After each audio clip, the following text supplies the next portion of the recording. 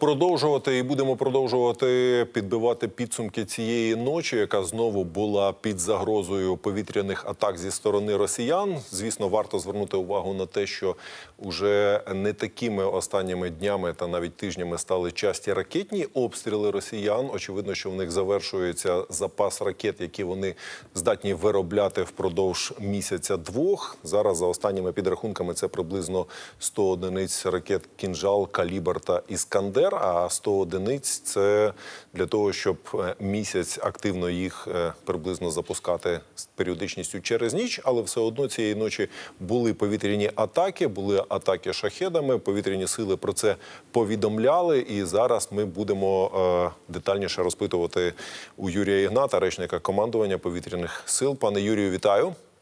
Доброго ранку, вітаю вас. Е, яка була ситуація цієї ночі? Бачив, слідкую за вашим постійно телеграм-каналом. Були знову атаки, і навіть була оголошена десь годинна повітряна тривога у Києві, незважаючи на те, що тут майже всю ніч була буря, дощ, град е, граду не було. Обманюю, блискавка і грім. Але небезпека шахедів, я так розумію, була.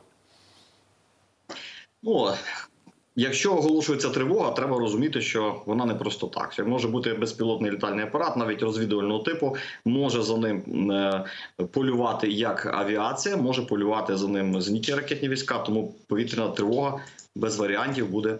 Оголошена, ось е, далі ж е, ви вже е, повідомили так, що шахеди цієї ночі знову ж таки атакували 18, е, 18 дронів загалом з напрямку Приморськ-Ахтарськ. Таким чином, і зенітні ракетні війська застосовувалися, і винищувальна авіація, і мобільні вогневі групи. Цього разу 12 е, вдалося знищити. Е, Ну, працювала проти протиповітряна оборона на південно-східному напрямку. Зокрема, про що ми і повідомили е, на наших офіційних сторінках. Зрозуміло, Е, оскільки е, зараз трохи зменшилася, е, ну навіть не трохи, а помітно зменшилася ракетна активність росіян. Я маю на увазі запуски калібрів, здебільшого. Чи свідчить це про те, що вони накопичують, і коли можна чекати наступного такого масованого удару? Ну, бачите, виступив нещодавно представник генерального штабу, генерал Олексій Громов, який там заявив на брифінгу, що е, скільки е, може виготовляти приблизно так Росія. е, високоточної далекобійної зброї, в тому числі і калібрів. Калібри, е, е, як свідчить статистика, запускають ну приблизно втричі менше по кількості ніж ті ж ракети повітряного базування Х-101, Х-555. Близько 30 ракет, за даними Генерального штабу, за даними розвідок, ем, е, виготовляє, має можливість виготовляти е, Рос- Росія за місяць. Саме тому е, от така кількість і, атакує е, приблизно ну, 10, інколи більше, там 15 може бути калібрів. Носіїв у них достатньо в Чорному морі, а от ракет, які туди підвозять, не дуже. Тому е, маємо ось таку е, кількість атак калібрами. Скільки може окупант, стільки і застосовує. Вже не раз казав про це. Було би більше у них е, цих ракет. Звісно, що е, летіло б на нас більше цього. е, цього Непотребу. Так. Е, Та, пане Юрію, але якщо сумувати, е, я бачив статистику, що в разі сумування е, Х-101, 55, калібри і іскандери з кінжалами, то це в сумарно до 100 ракет на місяць виходить. Ну так, приблизно таку інформацію і було оприлюднено, але ж зрештою треба розуміти, що Росія стратегічний запас використала по нашій інфраструктурі, по енергетиці та ну по паливно-енергетичному сектору, зокрема восени взимку. Ну і їм потрібно е, накопичувати. Але якщо з іншого боку подивитися статистику за місяць, скільки вони витрачають ракет, ну приблизно. Я думаю, така кількість і виходить, тому окупант е, виготовляє стільки, скільки може, і таку кількість приблизно і запускає в Україні. Ну крім того, використовують вони ракети С-300, ви знаєте, які є в них на складах в великій кількості по прифронтових територіях. Ну і ракети Х-22.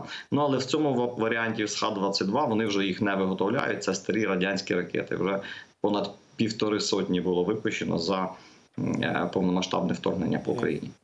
І ще одне е, болюче питання навчання наших пілотів, які теоретично можуть стати пілотами F-16. Е, Румунія е, теж оголосила, що готова в себе створити центр такий навчальний для наших пілотів, бо поки що німецько-польські е, ніби обіцянки якось застопорилися.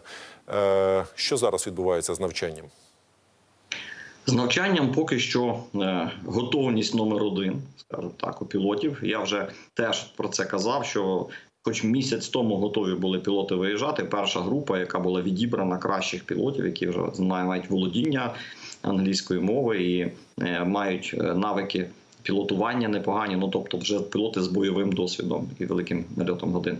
Питання де на яких майданчиках, в яких країнах е, в тісній консультації працюють наші представники. Командувач повітряних сил генерал Миколаївич відрядив е, групи офіцерів повітряних сил, які працюють тісні в тісних консультаціях з нашими західними партнерами, вивчають це питання і ну, і роблять усе для того, повірте, щоб цей процес почався якомога швидше. Ми розуміємо, що зволікання це життя наших громадян, життя наших військових. Тому де б воно не почалося, треба якомога швидше це робити. Яка це буде країна? Ми будемо усім дякувати.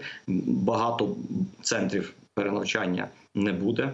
е, Тому що ну не буває маю на увазі. Нам треба якомога більше. Якщо різні країни нададуть такі майданчики, це буде дуже добре. Можна буде по е, кілька груп е, одних там навчати, одних на іншому місці і так далі.